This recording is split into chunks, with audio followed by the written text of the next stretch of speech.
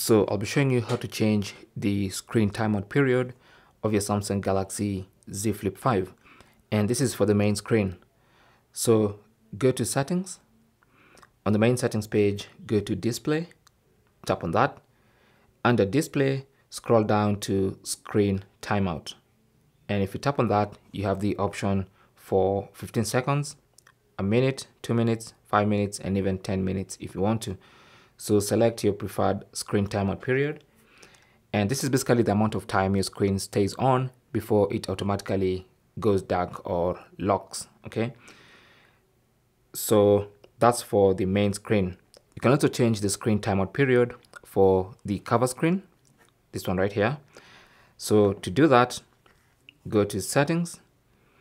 On the main settings page, scroll down to cover screen, tap on that. And then under cover screen, go to cover screen timeout, tap on that. And then also here you can choose the screen timeout period for the cover screen. Okay, I have mine set to 30 seconds. You can choose 15, 10 or 5 seconds. Okay, thanks for watching. Leave your comments and questions down below and good luck.